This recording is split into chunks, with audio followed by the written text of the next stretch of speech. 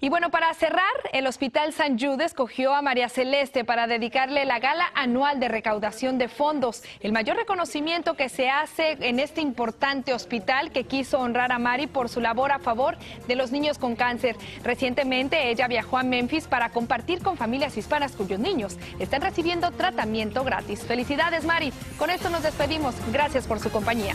Estas son las imágenes de Mirna Celaya Gómez y su hermana Miriam, conocida como Lady Frijoles, cuando fueron procesadas en la cárcel del condado Dallas por asalto agravado con un arma mortal.